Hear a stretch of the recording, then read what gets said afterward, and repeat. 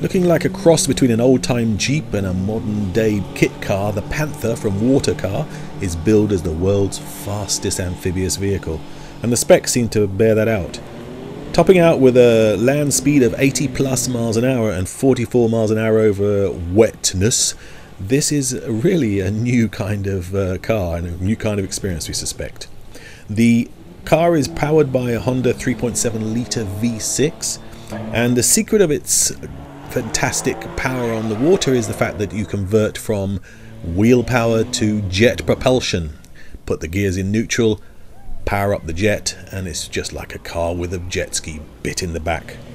The price for all this luxurious smoothness is $135,000 for the complete kit, which uh, includes motor and all the accessories.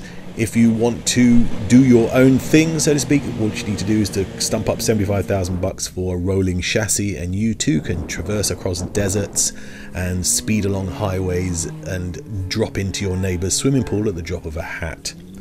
The Panther water car, well, we can see a market for it. We just wish it was a bit of a better sort of colour. But anyway, it's a, a, really interesting vehicle and certainly something that's going to gain foothold where there are there's lots of money. Panther from Watercar.